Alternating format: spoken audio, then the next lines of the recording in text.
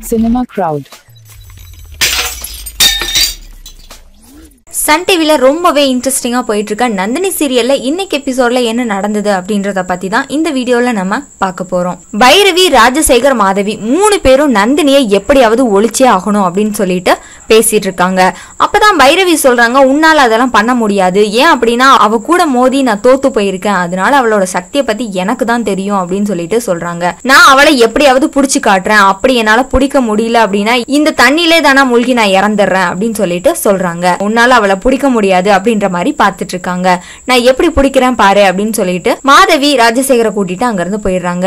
ராஜசேகர் பைரவி கிட்ட நீயும் வந்துரு பைரவி அப்படின்னு சொல்லிட்டு கூப்பிடுறாரு.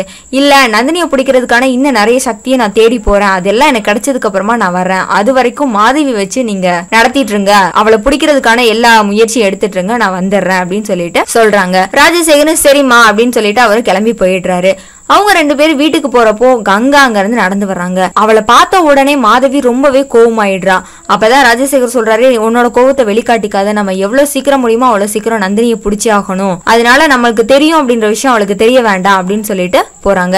அதுக்கு முன்னாடியே மாதவி என்ன பண்றாங்க நான் எவ்வளவோ கஷ்டப்பட்டு இந்த மந்திர வளையத்தை போட்டு நந்தினி உள்ள வராம பாத்துக்கிட்டேன். ஆனா வந்துட்டு நந்தினி உள்ளே இருக்கா? இப்படி இருக்கும்போது எதுக்கு இந்த மந்திர வலை? அப்படின்னு சொல்லிட்டு என்ன பண்றாங்க வெளியில புதைச்சு வச்ச அந்த பூசணிக்காய எடுத்து விட்டுறாங்க. அப்பதான் கங்கா கேக்குறாங்க என்னாச்சு? எங்க போனீங்க? ஏன் ஒரு மாதிரி பாக்குறீங்க என்ன? அப்படின்னு சொல்லிட்டு கேக்குறாங்க.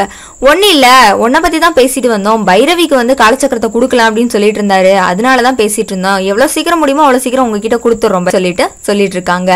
அப்போதான் ஏன் இவங்க ரெண்டு பேரும் டிஃப்ரெண்டா பிஹேவ் பண்றாங்க? என்னவா இருக்கும் அப்படின்னு சொல்லிட்டு கங்காவுக்கு ஒரு விதமான சந்தேகம் வந்துருது. மாதவி வீட்டில் உட்காந்து தியானம் பண்றாங்க. நந்தினி அழிக்கிறதுக்கான ஏதாவது ஒரு வழி நமக்கு கிடைச்சி ஆகணும் அப்படின்னு சொல்லிட்டு தியானம் பண்ணிட்டு இருக்கப்பதான் அவங்களுக்கு அரண்மனைக்கு பின்னாடி இருக்க ஒரு கிணறு ஒரு பிம்பமா வந்து போகுது. அப்பதான் அவங்க கேக்குறாங்க ராஜசேகர் கிட்ட உன் வீட்டை சுத்தி எங்கேயாவது கிணறு இருக்கா? அப்படின்னு சொல்லிட்டு கேக்குறாங்க. அப்பதான் அவர் சொல்றாரு ஆமா இருக்கு. இருபத்தஞ்சு வருஷத்துக்கு முன்னாடி உங்க அண்ணன் தான் அதை அடைச்சிட்டாரு. அது வந்து இருக்கக்கூடாது அப்படின்னு சொல்லிட்டு அடைச்சிட்டாரு அப்படின்னு சொல்லிட்டு சொல்றாங்க.